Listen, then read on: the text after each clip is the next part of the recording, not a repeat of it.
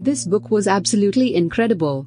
I am a fan of Schwab's other work, so I was extremely excited about The Invisible Life of Addie LaRue, especially as Schwab has talked on multiple occasions about it being a book that really means a lot to her.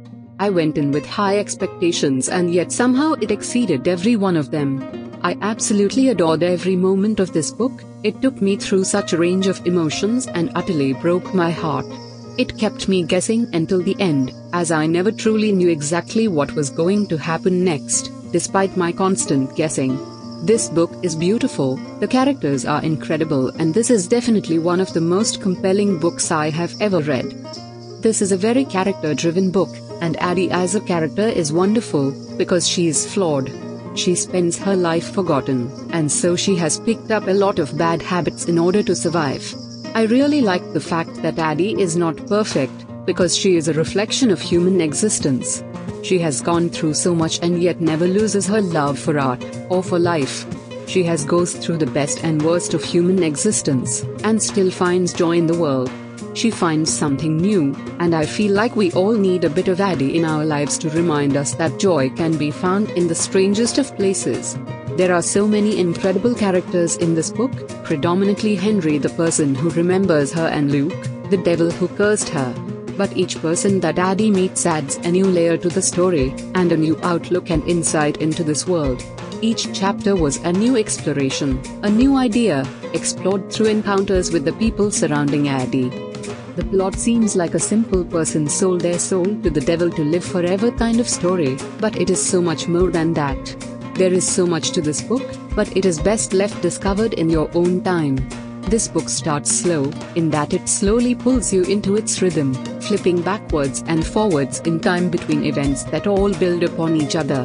This creates the feeling that it's weaving you into the story, dropping hints here and there until you're so caught up in what will happen next that you can't think of much else and don't want to stop reading. This is definitely a book that will stay with me for a long time and keeps haunting my thoughts. The Invisible Life of Addie LaRue is thought provoking and brings up a lot of thoughts about the nature of existence and what it means to live. Can we really live without making a mark on the world, or is it the impression we have on others that makes us real? I wasn't expecting this book to raise a lot of philosophical questions and make me rethink the nature of existence, relationship with art, and the meaning of life, but it did. It made me think a lot about my own insecurities about life, being forgotten, and the nature of art and reality. I'm sure a lot of readers won't be quite so plagued by these thoughts, but they were such an important part of the book, in my opinion, and they have left an impression on me in the most interesting way.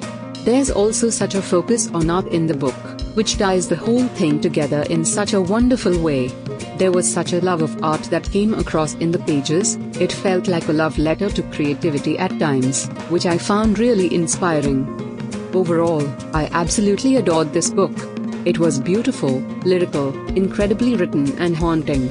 It took me through such a range of emotions and left me wanting more.